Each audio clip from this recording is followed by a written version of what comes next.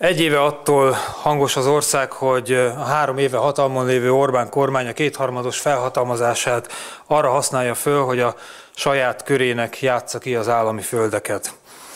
Mi magunk is személyesen mentünk el számos helyszínre ellenőrizni, hogy mi történt földügyekben. Bementünk a Nemzeti Földalaphoz, végig ellenőriztük a bírálati lapokat, és ezek alapján, az ellenőrzések alapján teljesen világossá vált, hogy egy olyan rendszert alakított ki a Fidesz, ami alkalmas a visszaélésre. Többször hangot adtunk annak a megállapításunknak, hogy a rendszer nem csak alkalmas a visszaélésre, hanem vissza is éltek vele. Ez ügyben több feljelentést is tettünk. Továbbra is azt állítjuk, hogy az értékelő bizottságok döntéseit számos esetben felül kell vizsgálni a Nemzeti Földalapnak. És azt állítjuk, hogy a felülvizsgálaton túl legalább azt teljesítenie kell a Nemzeti Földalapnak, hogy az ellenőrzéseket hajtsák végre, és ellenőrizzék, hogy a vállalásokat azok, akikkel szerződéseket kötöttek, betartják-e.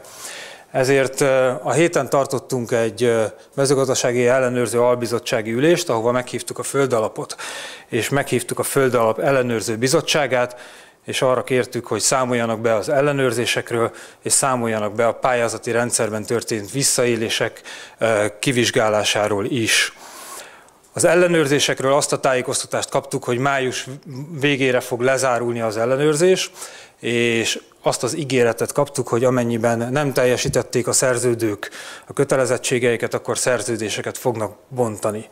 Azonban ezzel kapcsolatban nekünk súlyos aggájaink vannak, főleg annak a ténynek a tekintetében, hogy az ellenőrző bizottsága, tehát a Nemzeti Földalap ellenőrző bizottsága október 25-én elkészített és elfogadott egy jelentést, amit ezen a bizottsági ülésen megismerhettünk, ami egyébként egy precíz és szakmailag korrekt jelentés volt, de ennek a jegyzőkönyve is megerősíti, amit az MSZP már korábban is folyamatosan mondott, hogy a magyar állam tulajdonában lévő földeket fideszes haveroknak játszotta át a kormány.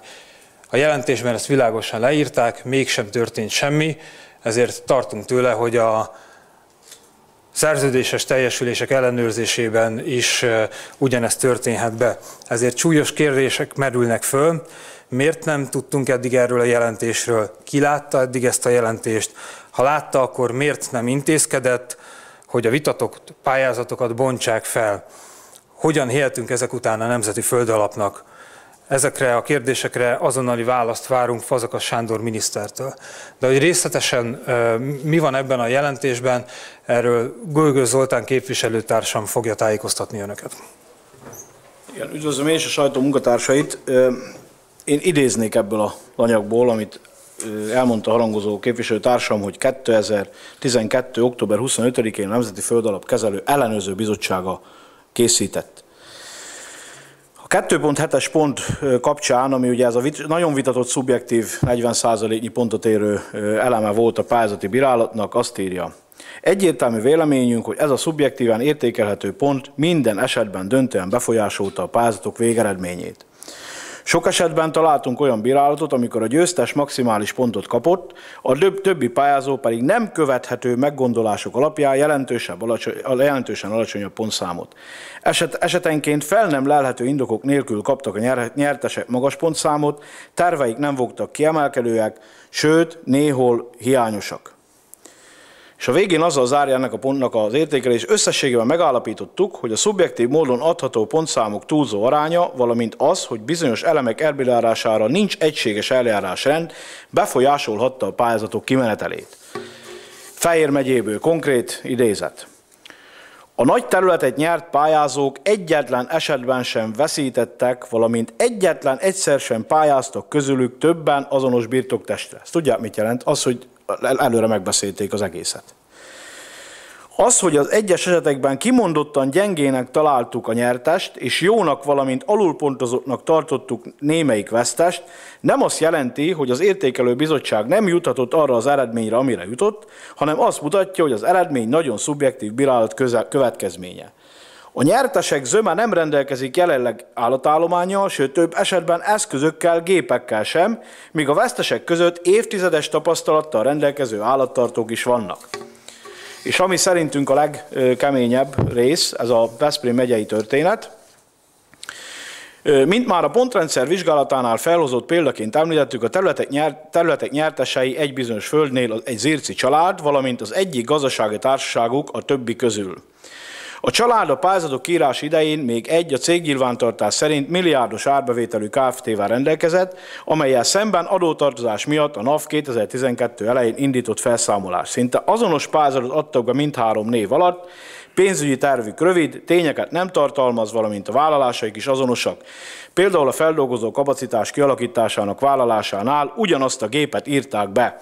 Nagy hagyományokkal rendelkező őstermelőnek írják magukat, ezzel szemben, ha őstermelő igazolványuk volt is, betétlapjuk évek óta nem, azt csak a pályázat kiírása után váltottak. Az általunk kifogásolt szubjektív pontozással mégis őket hozta ki az értékelő bizottság nyertesként. Véleményünk szerint a Veszprém megyei értékelő bizottság által hozott döntések felülvizsgálata is indokolt lehet az NFA részéről, de legalább ellenőrizni kell a vállások betartását.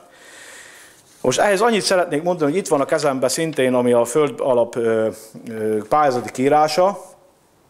A pályázatnak minden esetben tartalmazni kell a pályázó nyilatkozatát arról, hogy nincs az adózás rendjéről szóló törvény szerint 60 napnál régebbi lejárt esedékességű köztartozása nem áll csőd vagy felszámolási eljárás alatt. Tisztelt Hölgyeim és Uraim, ezt a pályázatot azonnal meg kellett volna semmisíteni és újat kérni, amikor a, ezt az ellenőrző testület leírta. De a végére, amit azért odaírtak az ellenőrök, jellemző, és ezért írtuk ezt az ellenőrzés Fidesz módra, azt az van itt zárójelben a végén, hogy ez a jegyzőkönyv a korábbi tervezet módosításával készült, amelyben figyelembe vettük az NFA egyeztetésre kijelölt vezetőinek szóban közölt gondolatjelbe kérésünk ellenére írásban le nem adott és általunk akceptált változtatás igényeit. Ez erősen kimeríti a hivatali visszaélés történetét. Volt ebből vesztes pere állami vezetőnek, nem is olyan régen, egy telefonból. Tehát mi azt kérjük, amit a követeljük, amit a Gábor is jelzett. Hétfőig a parlamenti kérdésünkig, már nyilván ezt parlament meg fog ismételni. A miniszter nyilatkozzon arról, hogy kivel szembe és milyen eljárást fog indítani. Amennyiben nem teszi meg, akkor nyilván ezt mi fogjuk megtenni. De erre nagyon-nagyon sürgősen válaszolnia kell, ugyanis ez a teljes földbélet pályáztatási rendszert ásta alá ennek a jegyzőkönyvnek az eltusolása és ezeknek a megállapításoknak az elkenése. Ilyet nem lehet csinálni, ilyet egy hivatal nem tehet, hogy a saját belső ellenőrzési rendszer, amit azért találtak ki, hogy a visszasságokat föltárja, vagy a problémákat jelezze időbe, és jelezte, mert októberben, a finishben már jelezte, hogy semmibe veszik e, e, ennek a szervezetnek, a, vagy al egységének a jelentését. Ezt várjuk a minisztertől, meg a miniszterelnöktől, hogy tegyen ebbe rendet, de minden esetre azonnal függesse fel az új pályázatokat, és minden, minden érintettnek, akik ezekbe az ügyekbe érintettek, rendkívüli vizsgálatot rendeljen el, és nagyon célirányos vizsgálatot. Egyébként a mostani normál szerketű vizsgálat, amiről a képviselőtársam beszélt, ami az éves ellenőrzés, semmi, hitel, semmi hitelességet nem fog mutatni, és sem nem hisszük el, hogy ezek után az hiteles lesz, hogyha ebbe ezek a lépések nem történnek meg.